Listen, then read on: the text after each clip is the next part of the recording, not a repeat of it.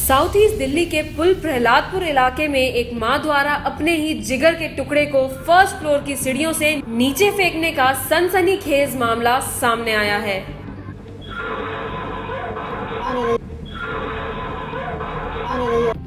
ये पूरी वारदात घर में लगे सीसीटीवी में कैद हो गई।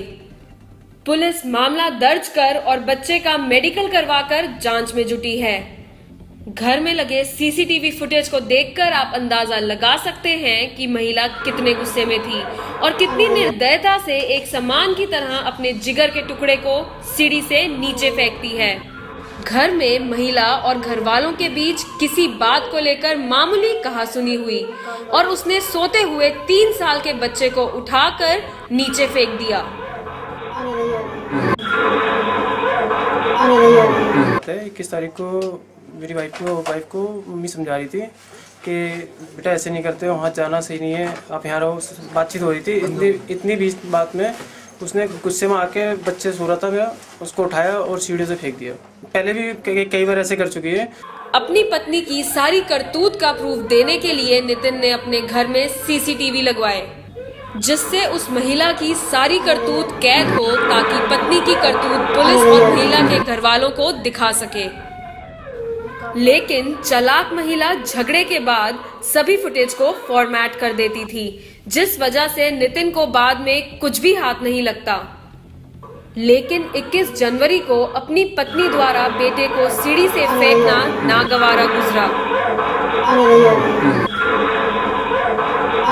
झगड़े के दिन 21 जनवरी को परिवार में कुछ मामूली कहासुनी हुई तो महिला ने अपने ही जिगर के टुकड़े को सीढ़ियों से नीचे फेंक दिया।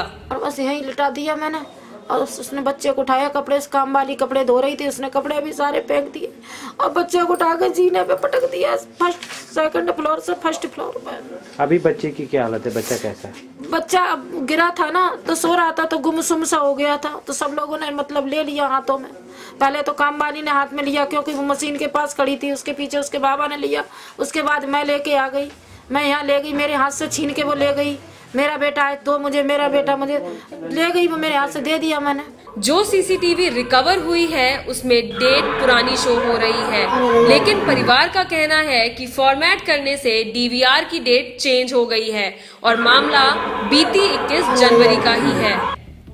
साउथ ईस्ट दिल्ली के डीसीपी रोमिल बानिया ने व्हाट्सएप के ज़रिए इस मामले को पुष्टि करते हुए बताया कि पुलिस मामला दर्ज कर जाँच में जुट गई है। दिल्ली दर्पण टीवी से शाहनवाज खान की रिपोर्ट।